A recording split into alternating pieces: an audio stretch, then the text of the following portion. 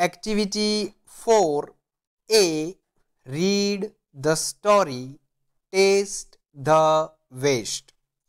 The Maharaja of Travancore ordered a huge dinner. ટ્રાવનકોરના મહારાજાએ મોટા રાત્રિ ભોજનનો આદેશ આપ્યો that was for many important guest તે ઘણા મહત્ત્વના મહેમાનો માટે હતું. So, the Maharaja personally came to the kitchen? તેથી મહારાજા વ્યક્તિગત રસોડામાં ગયા. He wanted best dishes for the guest. તે મહેમાનો માટે સારી વાનગી ઈચ્છતા હતા. The cook was busy with his work when the Maharaja came જ્યારે મહારાજા પહોંચ્યા, ત્યારે રસોઈયો તેના કામમાં વ્યસ્ત હતો. Cook says welcome my lord I am happy to see you here રસોઈયાએ કહ્યું, મહારાજ, તમારું સ્વાગત છે. તમને અહીં જોઈને હું ખુશ છું. King says your dish smell really good રાજા કહે છે, તારી રસોઈમાંથી ખરેખર સારી સુગંધ આવે છે. Cook says thank you your majesty રસોઈયાએ કહ્યું, મહારાજ, તમારો ખૂબ આભાર. King says pointing to the scraps in the basket what is there in the basket રસો રાજા કહે છે, ટોપલીમાં રહેલ શાકભાજીના વેસ્ટ તરફ ઇશારો કરીને ત્યાં ટોપલીમાં શું છે? Cook says that is vegetable waste your majesty I will throw it away રસોઈયો જવાબ આપે છે, મહારાજ, એ શાકભાજીનો વધેલ વેસ્ટ છે. હું તેને બહાર ફેંકીશ. King says no no you can not waste all the vegetables ના ના તું બધા શાકભાજીનો વેસ્ટ કાઢી શકે નહીં. Find a way to use them તેના ઉપયોગની રીત શોધ. કુક સેજ, સ્યોરલી આઈ વિલ. રસોઈયાએ જવાબ આપ્યો, ચોક્કસ હું શોધીશ. Then the king left the kitchen પછી રાજાએ રસોડું છોડી દીધું. ધ કુક વોઝ વરીડ રસોઈયો ચિંતાતુર હતો. He started at the scraps and started thinking તેણે વધેલ શાકભાજીને લઈને વિચારવાનું શરૂ કર્યું. હી હેડ એન આઈડિયા તેને એક વિચાર આવ્યો. He first washed the vegetables સૌપ્રથમ તેણે શાકભાજી સાફ કર્યા.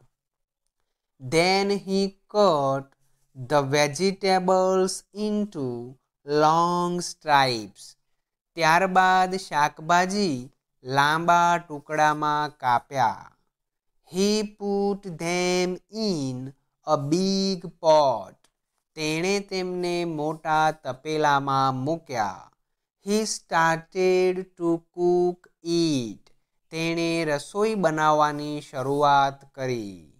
He ground some fresh coconut green chillies and garlic together તેણે થોડું તાજું નારિયેળ, લીલા મરચાં અને લસણની ભેગી પેસ્ટ બનાવી.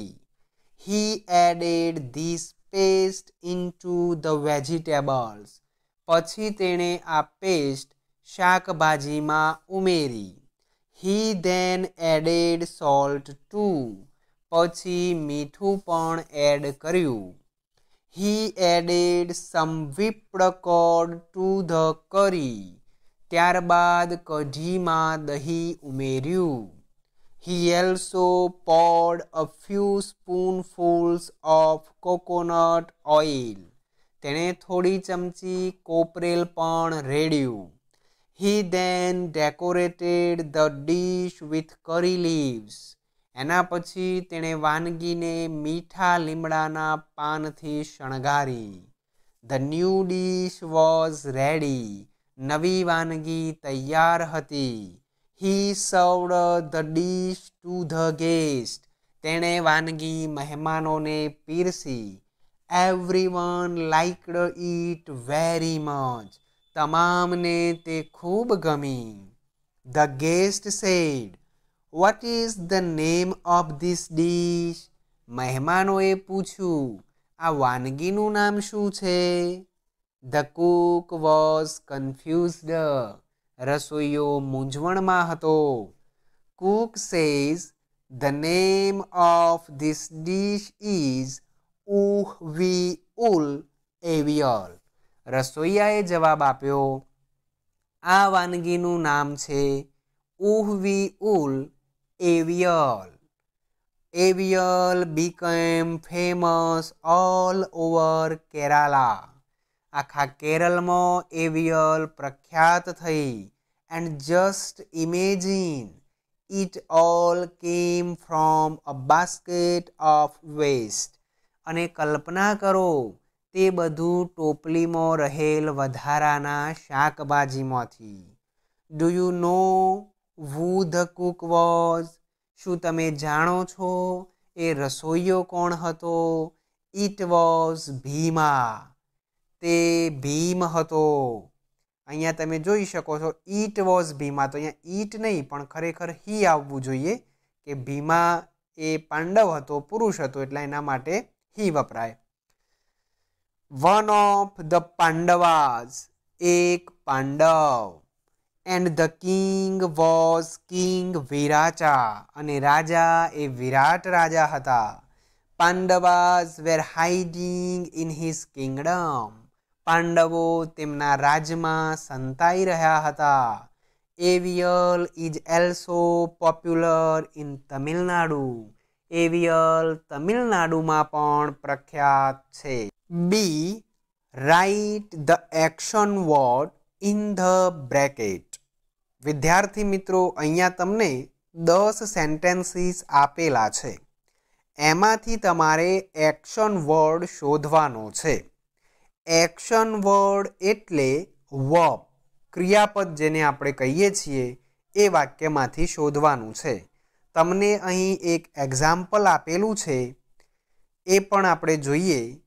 The king left the kitchen એમાં લેફ્ટ જે છે એ એક્શન વર્ડ છે.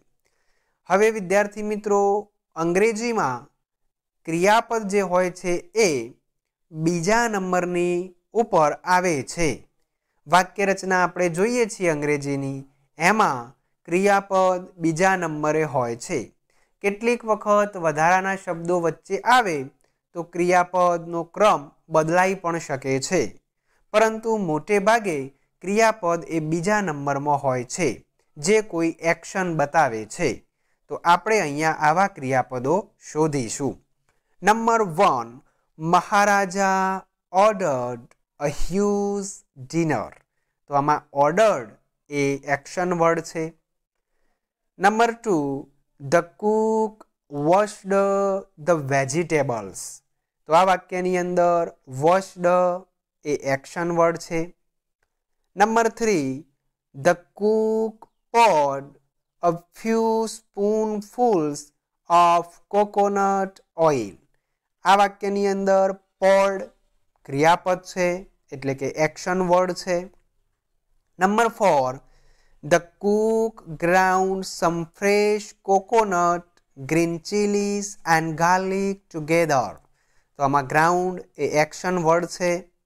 Number five the cook decorated the dish with curry leaves આની અંદર ડેકોરેટેડ એ એક્શન વર્ડ છે. આપણે અલગ લખીશું એને. Number six Maharaja wanted some fresh dishes for guest આની અંદર વોન્ટેડ એ એક્શન વર્ડ છે.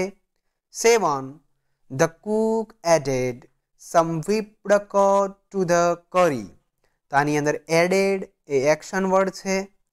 Eight the cook cut the vegetables into long stripes આમાં કટ એક્શન વર્ડ છે. Number nine avial became famous all over Kerala તો આમાં became એ action word છે.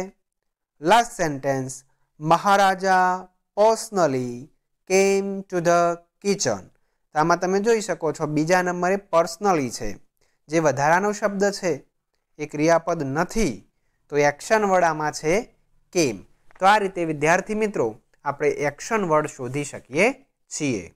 C, tick right the ingredients used for avial.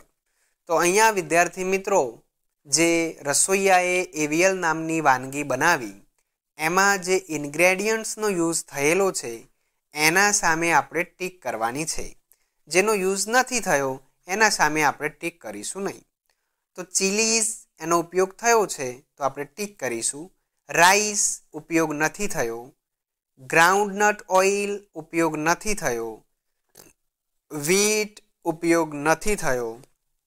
કરી leaves, તો એનો ઉપયોગ થયેલો છે, આપણે ટીક કરીશું. ગ્રામ ફ્લોર એનો પણ ઉપયોગ નથી થયો. ગાર્લિક, તો લસણનો ઉપયોગ થયો છે. આપણે ખરાની નિશાની કરીશું. કોકોનટ, તો નારિયેળનો પણ ઉપયોગ થયો છે. આપણે ખરાની નિશાની કરીશું. નીમ લીવ્સ, તો એનો ઉપયોગ નથી થયો. આપણે ખરાની નિશાની નહીં કરીએ. કડ, તો દહીંનો ઉપયોગ થયેલો છે. ખરાની નિશાની કરીશું. ગવા, એનો ઉપયોગ નથી થયો. વેજીટેબલ સ્ક્રેપ્સ તો એનો પણ ઉપયોગ થયો છે. આપણે ખરાની નિશાની કરીશું. D write true or false તો અહીંયા પાંચ વાક્યો આપેલા છે. વાક્ય સાચું હશે તો આપણે ટ્રુ લખીશું. વાક્ય ખોટું હશે તો આપણે ફોલ્સ લખીશું. આવા વાક્યો હોય ત્યારે આપણે વાક્યને વાંચીશું. ત્યારબાદ એનો અર્થ સમજી અને ટ્રુ ફોલ્સ લખીશું. Number one the king ordered a dinner in the palace રાજાએ એના મહેલમાં ડિનરનો આદેશ આપ્યો હતો. તો આ વાક્ય ટ્રુ છે. Number two the cook knew about avial before રસોઈયો જે છે એ એવિયલ નામની વાનગીને પહેલાંથી જ જાણતો હતો. તો નહોતો જાણતો. આ વાક્ય ફોલ્સ છે. Number three the cook made a new dish using the vegetable scraps રસોઈયાએ વધેલ શાકભાજીનો ઉપયોગ કરી અને નવી વાનગી બનાવી. આ વાક્ય સાચું છે. આપણે લખીશું true four nobody liked the new dish avial નવી વાનગી જે એવિયલ હતી એ કોઈને પસંદ આવી નહીં. તો આ સેન્ટેન્સ ફોલ્સ છે, કારણ કે તમામ ગેસ્ટને આ વાનગી ખૂબ પસંદ આવી હતી. Number five the king was happy to see the waste in the basket રાજા જ્યારે કિચનમાં જાય છે અને ટોપલીમાં શાકભાજીનો વેસ્ટ જુએ છે, તો એ ખુશ થઈ જાય છે. તો આ સેન્ટેન્સ પણ રોંગ છે, એટલે કે ફોલ્સ છે. રાજા ખુશ થતા નથી. E you want to prepare avial give number to the steps અહીંયા ઈ આપેલો છે. કે માનો કે તમે આ એવિયલની વાનગી બનાવવા માગો છો, તો તમે સ્ટેપ બાય સ્ટેપ એને કેવી રીતે બનાવશો? તો એના સ્ટેપ અહીં મિત્રો આડા અવડા આપેલા છે, તો એને આપણે યોગ્ય ક્રમમાં અહીંયા લખીશું. તો સૌ પ્રથમ આ વાક્યોને એક વખત વાંચી લઈએ, એનો અર્થ સમજી લઈએ, એના પછી આપણે એને ક્રમમાં ગોઠવીએ. Grind some coconut green chillies and garlic એટલે કે નારિયેળ છે, લીલા મરચાં અને લસણની પેસ્ટ બનાવો.